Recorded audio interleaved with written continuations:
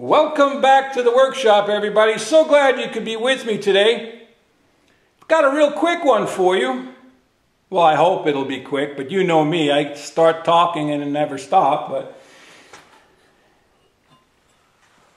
I wanted to get on the quick topic of diamond sharpening plates and the fact that diamonds are not forever. Now, what do I mean by that? They are long lasting. They will continue to function many, many years. I've heard in everyday use five to seven years, maybe. I can't tell you for sure. I've had this one for a couple years. But I started noticing something on all my diamond plates and I'm not blaming anybody. This could be me and the way I handle my tools. Or maybe I have a tool, one tool that happens to be very hard and it's doing this. But there's scratches right in the steel plate. Okay? On the 300, on the 1000, on the 180, and then the one that I was using to polish, my 4000, I sent that back. I sent it back to the manufacturer to be evaluated. I'm not blaming them. I want them to put it under their microscope. I want them to look at it. I want them to tell me if it is even functioning anymore. Because I don't feel like it is. And it's got a lot of these scratches in it. So, another thing about diamond plates is they're not as flat as people think. Are they flat? Yes. They're flat to the tolerances that the manufacturer sets. So, if they're grinding, if they're grinding this plate to plus or minus, let's say a half a thousand from corner to corner, that's great. But now they put the grit on. Now it can only be as flat as the thickness of the nickel plating as the thickness of the grit. So it could be off a little bit. I know for a fact that if I try to flatten a blade or chisel on my 180, then go to 300, they're not the same. Then from the 300 to the 1000, they're not the same. And then from the 1,000 to the 4,000, they're not the same. So you might feel like you're getting really good results and you're getting nice and flat, and then you go to the next grit and you're off. You're either convex or you're, you're concave, one or the other. We're talking thousandths of an inch.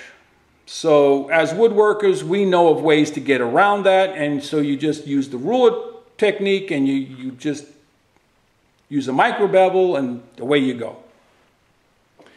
So, I'm curious as to why I'm making scratches on my diamond plates. Like I said, it's probably something that I'm doing.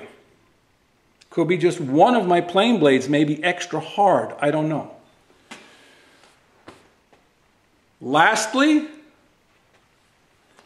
if you're using a diamond plate to flatten your water stones, you need to dedicate that plate to that task. Is it a must? Maybe not. It's suggested not to use a plate that has ever been touched by steel, with or without oil. Because, like I said, these are not perfectly flat. And in fact, after you start using them for a while, go ahead and just run your finger around the edge and you'll find that, wait a minute, I'm not using this corner, I'm not using this corner, this corner, I may not be using all the edges. So these are technically dishing out in both directions. So is it a half a thousandth? Is it a thousandth? Is it the thickness of the abrasive?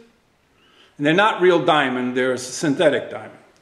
But if you're going to use a diamond plate to flatten your water stones, make sure you have a dedicated plate.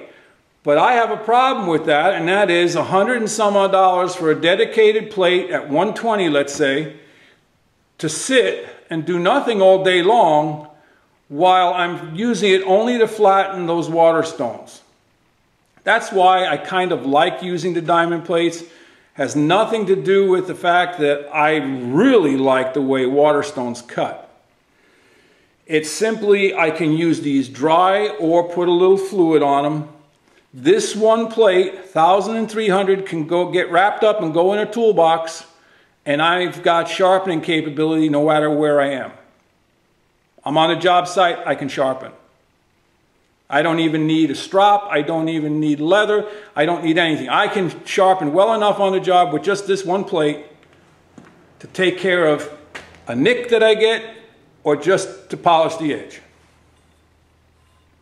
So that's about it, really. Um, they have a lot of pros and they have some cons. But five to seven years worth of wet or dry sandpaper on glass with water or WD-40 or something will cost you way more than this diamond plate. And it's not as convenient. But if all you're going to do is sharpen once every six months, a little bit of sandpaper on a piece of glass is all you need. So, hope this helps somebody. If it was useful or entertaining, give it the old thumbs up. Uh, click subscribe so that you're there for our other videos and uh, share this on uh, Facebook or other social media. And uh, head out to your shop. Sharpen your tools so that you can go make some shavings. Walter out.